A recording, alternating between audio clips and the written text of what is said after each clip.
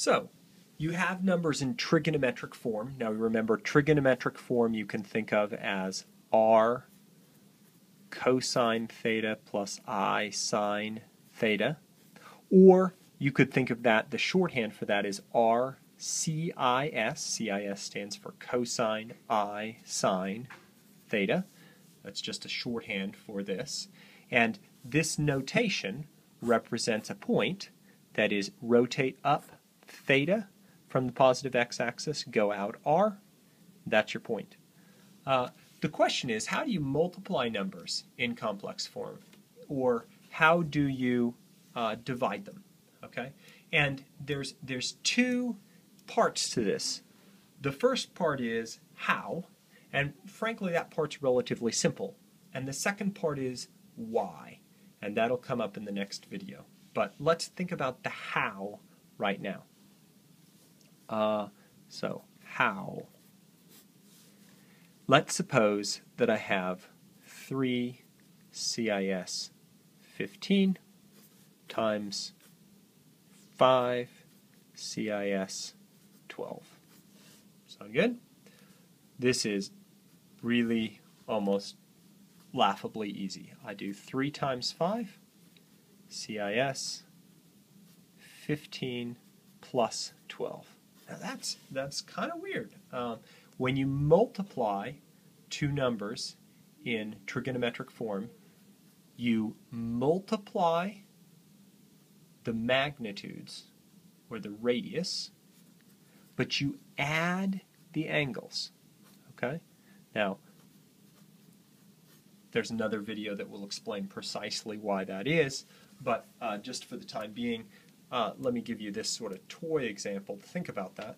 Um, well, what's the, what's the easiest complex number you could sort of think about here? How about the number i, or 0 plus i? Well, uh, how would you write that in trig form? Well, uh, what's the what's the radius? r equals 1, I guess.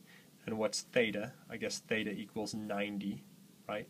So if you wanted to write i, this is another example, by the way, uh, i happens to be writable as hmm, 1 CIS 90, right?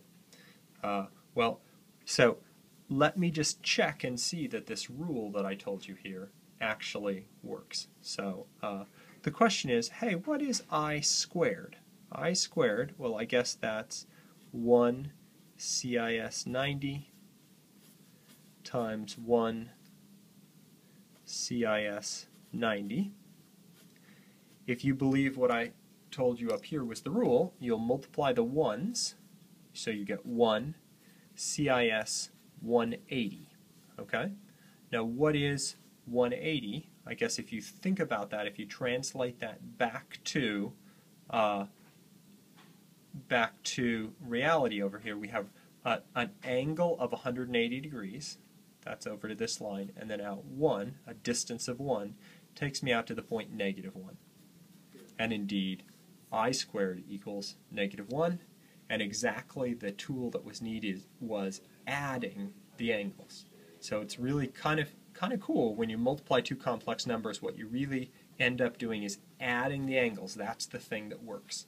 Okay, well, uh, so hopefully you can do this functionally. How do you divide uh, 3 CIS 15 degrees divided by 5 CIS 12 degrees? Well, you can imagine here you multiply the magnitudes, here you're going to divide the magnitudes, so it's 3 fifths